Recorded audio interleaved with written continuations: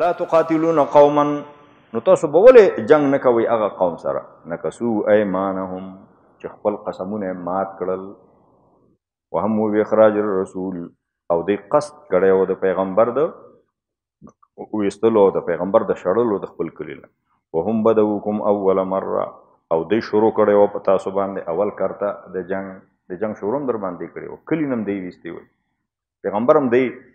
د ویستو اراده کړی و اتخشونهم ولې تاسو د کافران نه ویریږئ فالله الله حق ان تخشو د دې ډیر حقدار دی چې تاسو ته ویریږئ ان کنتم مؤمنین که تاسو مؤمنان قاتلوهم جنگ ور سره وکي يعذبهم الله بيديكم الله ورته عذاب ورکړي تاسو په لاسونو باندې یعنی الله خپل هم عذاب ورکوي شي خود الله طریقه دا ده چې تا ګوري چې تا کې سونه ایمان دی تا الله د پاره د چا ګریوان شکوي شي کني شي ته الله د پاره څوک وجای شي کنه شي ته الله ګوري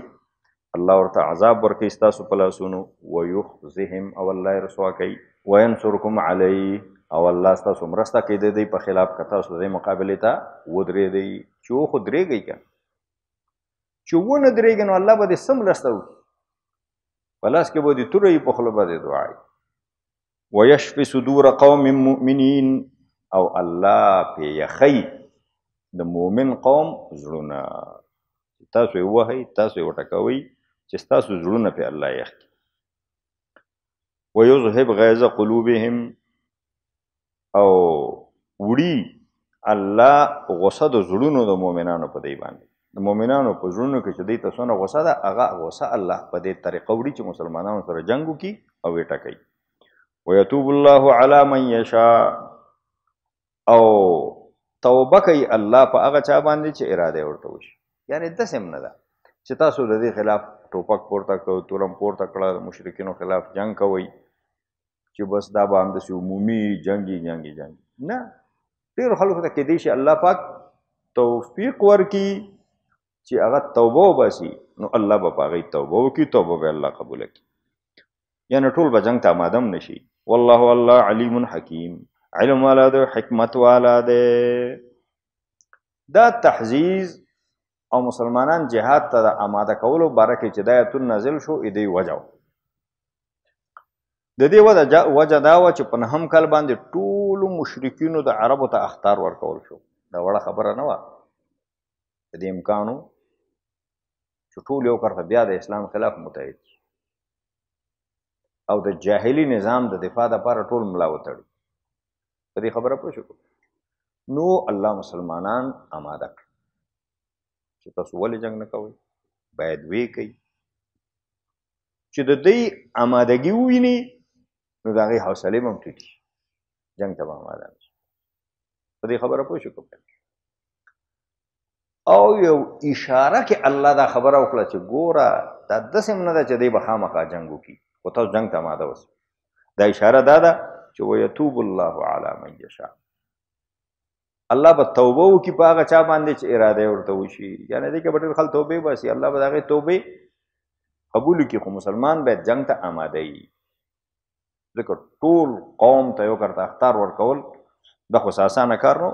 بیت الله باندې بند کړ حج باندې بند کړ عمره باندې بند کړ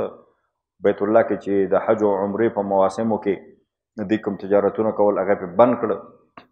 بیت الله مشری او تولیت هغه ته واغست دوی کې خلکو ته ډېر اقتصادي ګټه هغه ګټه په تاوانونو باندې بدل شو د ډېر خلکو په کې خانه ملکې وي هغه ټول محو شو نو ځکه الله مسلمانان آماده کړ او د دې فائدہ بیا راوته ګوري چې نبی عليه السلام وفات شو یو کرته ډیرو قبایلو بغاوت کو بیا بیا ډیرو قبایلو بغاوت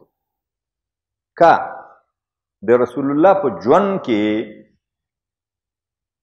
شرک او کفر په جزیره العرب کې غیر قانوني شوی نه وي او دا اقدامات شوی نه وي او دوی ویرولي نه وي او همداسې جاهلي قوت په عربو کې پاتې وي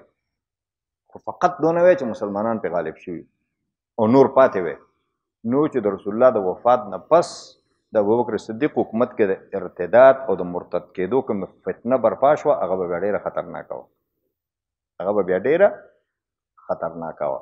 خدای مغاول کې کلک ونیول نو ډېر خلک پکې مسلمان شو هغه شو بیا د دې تکل اونک چې اسلام خسته شو حقيقي صحیح مخلص مؤمنان او څوک بس داخل شو خلاص به د دې تکل اونک چې بیا د اسلام او د مسلمانانو په خلاف ودري نو دا سخته پالیسی چې دلته ونیول شو د دې فایده د ابوبکر صدیق رضی الله تعالی عنہ حکومت کې سرګند شو کنه وضعیت به ډېر خراب اوس الله رب العالمین دا کم ملکان ځوانان او خلک چې نوی مؤمنان شي دی الله تشویقي دی ته وایي چې ګوره تاسو خو ټول عمر د نبی علی السلام خلاف جنگو اوس مسلمانان شوي الله در باندې رحم وکړه الله تاسو توبه قبول کړي نو خوشو خو تاسو به اوس د الله په لار کې قرباني ورکوي تاسو په دې نه خلاصېږئ چې تاسو ویلې مونږ ایمان راوړ او الله به تاسو جنتون ته دننه کړي د صحابو چې دونه قرباني ورکړي تاسو به هم ورکوئ ام حسبتم ان تترکو آیا تاسو دا ګمان کړی دی ان تترکو چې تاسو به پرې خو دی شئ معاف بکړی شئ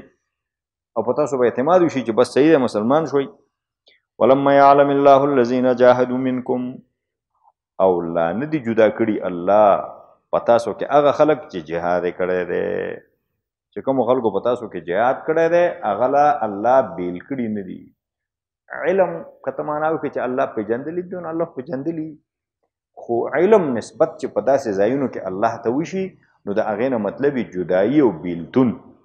چې نور خلکو ته واضح شي څرګند شي لا نه دي جدا کړي الله هغه خلک چې جهاد کړی دی په تاسو کې ولم يتخذوا من دون الله ولا رسوله ولا المؤمنين وليجا او نه دي نیولي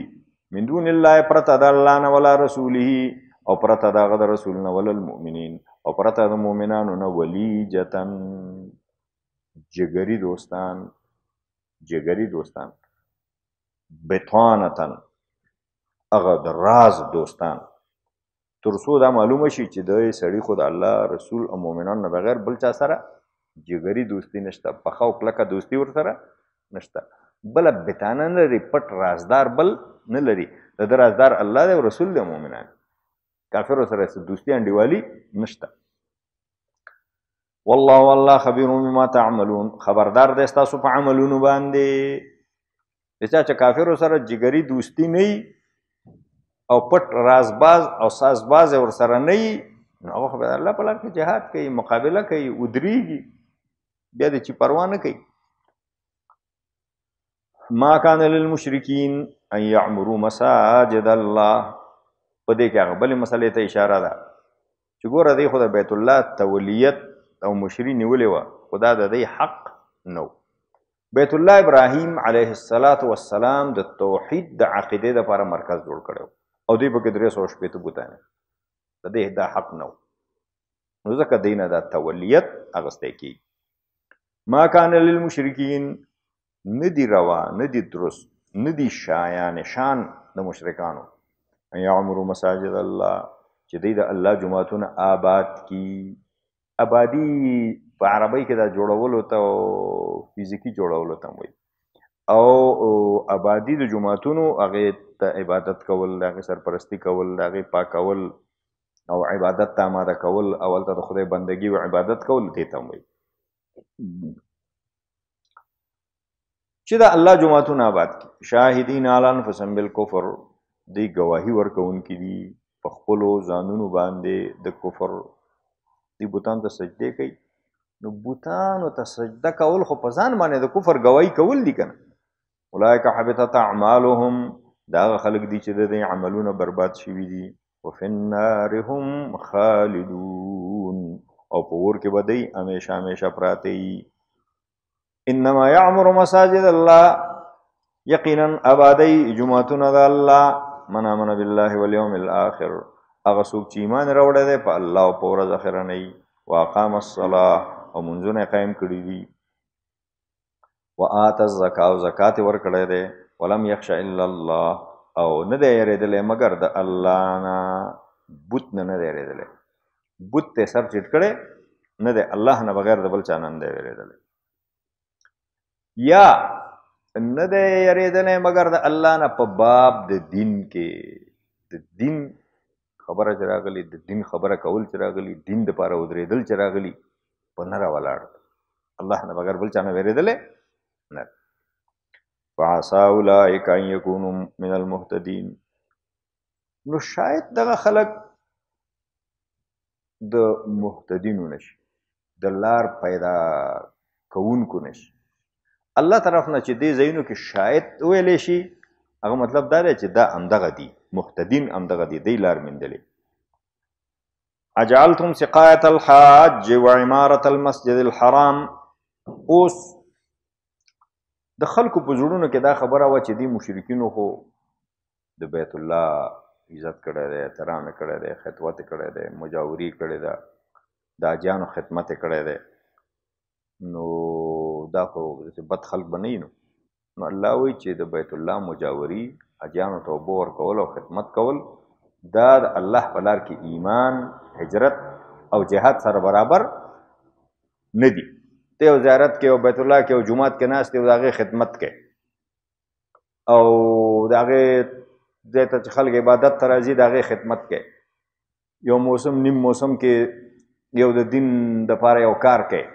یو دینی کار کوي دا خو دې سره نه برابر چې یو سړی ایمان ولري په الله او آخرت وطن الله او دین دپاره پرېږدي الله په لار کې جهاد وکړي د الله د دین مرسته وکړي ته خو یو څو مذهبي مراسم ادا کوي یو څو مذهبي مراسم ادا کړي نو دا مذهبي مراسم ادا کول خو ایمان بالله هجرت او جهاد فی سبیل الله سره برابرې ده نشي او دې کې خپل ګټه کتلې اجعلتم آیات سو ګرځولې ده سقایت الحاج اجانو ته وبور کول و عمارت المسجد الحرام او د مسجد حرام عمارت او آباد ول کمن امن بالله پشان د اغا دا اجعلتم کې اهل مقدر کوي اجعلتم اهل سقایت الحاج واهل عمارت المسجد الحرام هغه خلک چې سقایت الحاج کې اجان ته وګور او هغه خلک چې اهل د عمارت د مسجد حرام دی هغه آبادول لپاره کوشش کوي دا هم برابر ګرځولي کمن د هغه سړي په شان د هغه سړي په شان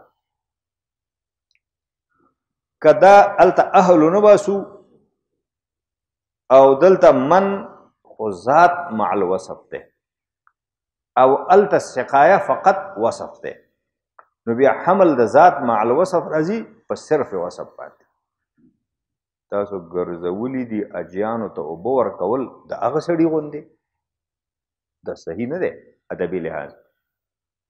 یعنی بیا به داسې وایي چې تاسو ګرځولي دي هغه خلک چې اجیانو ته اوبه ورکوي اهل سقایا و اهل العماره اهل عماره او اهل سقایا تاسو ګرځولي کمن د هغه چا پشان امن بالله چې ایمان راوړی په الله او یوم الاخر او پر ذخیرنی وجاهد فی سبیلی وجاهد فی سبیل الله او جهاد کړی د الله په لار کې لا استون عند الله دا برابر نه دی پنځ د الله والله والله لا يهد القوم الظالمین هدایت نه کی قوم ظالم ته الذين امنوا هغه خلک چې ایمان راوړی و هاجروا او هجرت کړی او جاهدوا او جهاد کړی فی سبیل الله د الله په لار کې به اموال منفسهم په خپل مالونو باندې په خپل نفسونو باندې اعظم درجه درجتن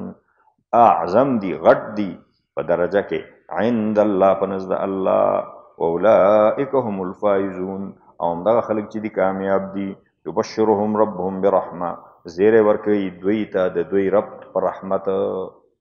الله دې ته د خپل رحمت زیر برحمت منه الله دې ته د خپل رحمت زیر ورکړي ورزوان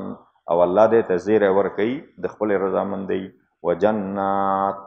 او الله دې ته زیر ورکړي د جنتونو لهم فیها نعیم مقیم وی بدوی لره پاغه جنتونو کې نعیم نعمتنا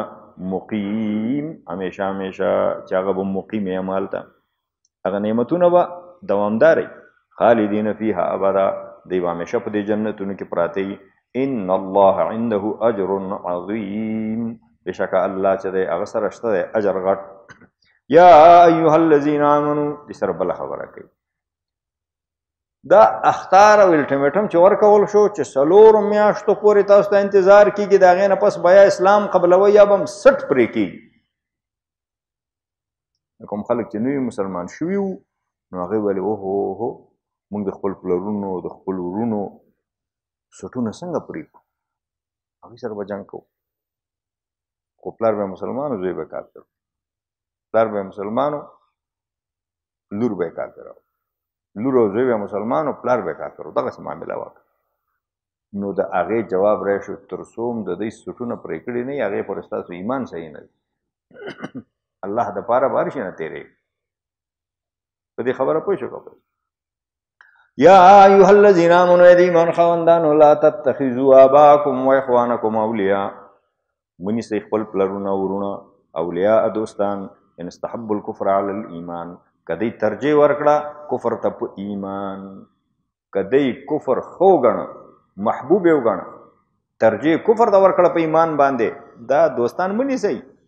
ومن یتولهم منکم فاولئک هم الظالمون او څوک هم چې په تاسو کې له دوی سره دوستي وکړي همدغه خلک ظالمان دي قل ورته وایم کان اباؤکم و ابناؤکم کوي ستاسو پلاران و ابناؤکم او ستاسو زامن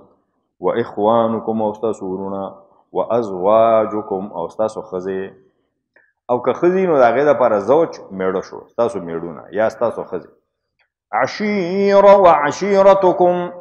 او تاسو قوم قبيله واموال اقترفتموها او هغه اموال چې تاسو جمع کړی دي غونډ کړی دي وتجارت تخشون کسادها او هغه تجارت چې تاسو یې ریږي کسادها د هغه د بازار د خرابېدو نو ته که زه او جهاد ته لاړ شم دا تجارت وکم نو دا څو ورځې پس غنم ارزانه کیږي نو زما غنم به تاوان او هغه تجارت چې تاسو یې رېږي کسادها د هغې د کساد بازار یې چې بازار به خراب شي و مساکن ترضونها او هغه کورونه چې تاسو یې خخوي که دغه شیان احب الیکم من الله ورسوله تاسو ته محبوبي او ګرانی د الله نه او د رسول نه وجهاد فی سبیله او د الله په لار کې د جهاد نه فتربصون انتظار کوي حتی تر دې پوري یاتی الله بامره چې راشي الله د خپل امر سره یعنی الله خپل فیصله ولګي د عذاب پتا سو باندې والله والله لا يهدي القوم الفاسقين هدایت نکي الله فاسق قوم تا امر یات الله بامره نه چا دا معنا کړی دا چې عذاب د الله در باندې شي بس انتظار تکې نه تاسو ډیر بیکاره خلک چې خپل ورونو او پلرونو مال او تجارت او کورونه دا د الله او رسول او جهاد نه خګنای انتظار د عذاب ته کې او چا ویلی چې یاتی الله بامره نه مطلب دا ده چې الله دا فیصله به صادر شي چې د دعوت تبلیغ امر بالمعروف نهی عن المنکر جهاد فی سبیل الله د رشد او د هدایت او د خیر د کار دا کم کار چې الله تاسو ته حواله کړی دا منصب به الله تاسو نه واخلي دا منصب به الله تاسو نه واخلي تاسو کینې خپل کورونو کې او کوي خپل دکانونو او خپل مور او پلار او سره بس لګیا اوسئ دا منصب به الله نور خلکو ته ورکي یعنی د دین دا کار چې تاسو کوئ دا خو شرف دی عزت دی نو دا شرف او عزت به بیا د الله واخلي بیا به نور خلک کوي او تاسو به ذلیل شي او کدا ویره در سره چې د ټولو عربو سره مونږ څنګه جنگ کوو دا الله جواب ورته ورکړي چې جنگ کوي شي کنه دي که الله مرسته کوي لقد نصركم الله في مواطن كثيره یقینا الله ستاسو مرسته وکړه فی مواطن کثیره په ډیرو مواطنو کې په ډیرو وطنونو کې دینه مطلب جنگونه دي و یوم حنین او د حنین په ورځ باندې اذ اعجبتکم کثرتکم چې کله په تعجب کې واچولې تاسو ستاسو کثرت او ډیروالی تاسو ولې چې مونږ ډیر یو حنین کې مسلمانان 12000 نو که چا ورته ویلو چې شکست به وخورئ او دولس زره دولس زره مونږ ته شکست مونږ چې درې سوه دیارلسو په زر نه پرو غالب شو دولس زره لښکر څنګه شکست کړي د حنین په ورځ باندې چې کله په تاسې په تعجب کې واچولئ او مست کړئ کثرت کوم ستاسو کثرت او مغروري کړئ فلم تغني عنکم شیئا نو ستاسو کثرت تاسو ته هیڅ فایده ونه رسول هیڅ پیدا نه رسوله وزاقت علیکم الارض بما رحبت او تنگ شو په تاسو باندې زمکه سره د لوی والی او سره د پراختیا حوازینو چې کله غشي شروع کړو نو زمکه د لوی والی سره په تاسو تنگ شو لوی زمکه په تاسو تنگ شو ثم وليتم مدبرين بیا تاسو راو ګرځې دی شاکون کی میدانم پرې خود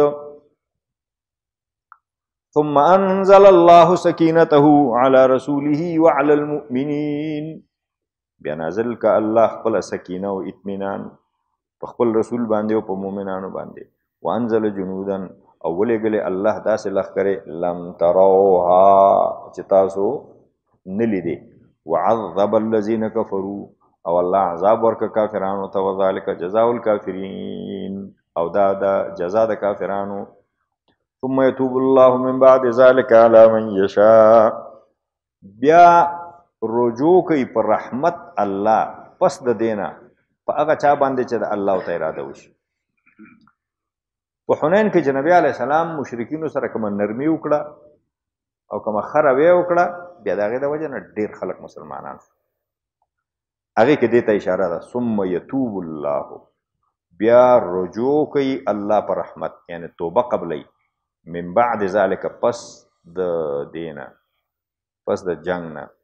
پس د دې ذلت نه چې الله کافر ته ورک علا من یشاء پچا باندې چې د الله اراده وشي الله پر رجوع کوي پر رحمت والله والله غفور رحیم بخون کوي مهربان دی